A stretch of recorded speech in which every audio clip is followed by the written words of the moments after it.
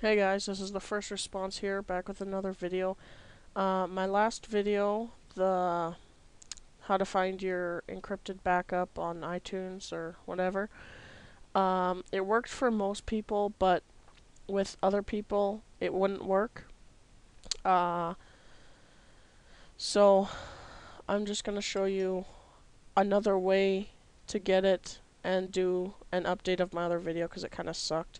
So you're going to go into your iTunes, you're going to have to have your phone or iPod, whatever's plugged in. So I have my iPhone plugged in.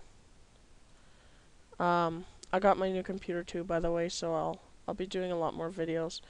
So you go, and also people have been asking um, how to shut off the encrypted backup. So if you get the if you get the password and everything and it works, uh, then just go here and uncheck this box, encrypt local backup. So if that's checked, then you're going to have to put in a password or whatever. You just want to uncheck that. And, uh, and then the encrypted backup will be off.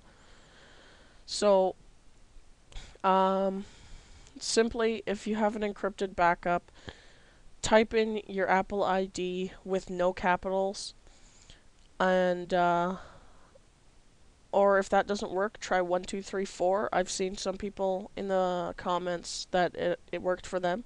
One, two, three, four. Uh, and if that doesn't work, I have no idea what's going on. You're probably SOL. Um, uh, but yeah, to shut it off, just go, just uncheck the encrypted local backup. Um, and that should allow you to do or uh, take it off take off the encrypted backup. So thanks for watching and we'll see you next time